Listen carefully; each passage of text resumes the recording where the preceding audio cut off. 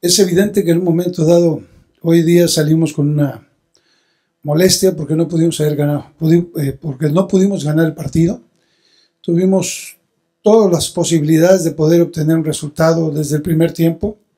Sin embargo, no tuvimos esa fortuna, nos faltó ese último toque que nos ha faltado también en algunos otros encuentros, pero que sin embargo el accionar del equipo sigue siendo sólido, eh, sigue siendo convincente en el sentido eh, de de producción, de estar bien parados, de imponer condiciones. Eh, tuvimos muchas circunstancias en, este juego eh, y todas esas circunstancias creo que el equipo nunca decayó a pesar de estas situaciones que se presentaron y que supimos eh, pararnos bien, supimos tener la personalidad, entonces creo que eso es algo dentro de lo negativo, es algo muy positivo para el plantel. En el medio de periodístico normalmente dos partidos es crisis de no meter gol. Entonces eh, se maneja de esa forma, ¿no? Pero no, yo creo que me preocuparía más si el equipo no llega, si el equipo no tiene oportunidades, sino si el equipo no está convencido de llegar, o sea, y prepararnos y superar todos los obstáculos. Un equipo de Atlas que sabe defenderse muy bien, eh, que contragolpea con mucho peligro, eh, supimos contrarrestar todo este tipo de circunstancias. El caso pues, de Vincent es algo que se viene dando y es evidente en un momento dado por la falta de, del gol.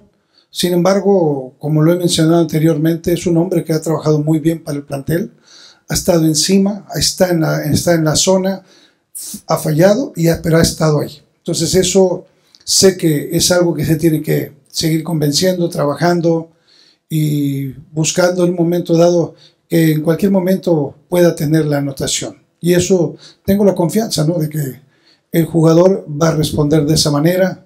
Ya me ha pasado anteriormente. Mm, como, como ejemplo, a lo mejor tuvimos un caso cuando entraba Aldo de Nigres, que cuando entraba siempre la gente lo abuchaba. Y sin embargo se ganó el respeto de la, de la gente y el cariño, eh, demostrando con el tiempo en un momento dado en lo que poco a poco fue creciendo y maduró, que se convirtió en el mexicano con más goles de la historia del equipo de Monterrey. Son circunstancias, ¿no? Yo creo que en ese sentido tendríamos que hacer un análisis un poquito más profundo porque todo puede ser muy a la ligera. Hoy día tuvimos muchas circunstancias, fallamos un penal, hemos fallado cuatro penales en el torneo que pueden haber sido victorias y se hablaría de otra manera o tendríamos más puntos. Sin embargo, nos hemos superado de las lesiones, hemos estado eh, venciendo eh, los errores, las expulsiones, que hemos trabajado en varios encuentros con 10 elementos, eh, hemos tenido mucha falla de varios jugadores a la hora de culminar.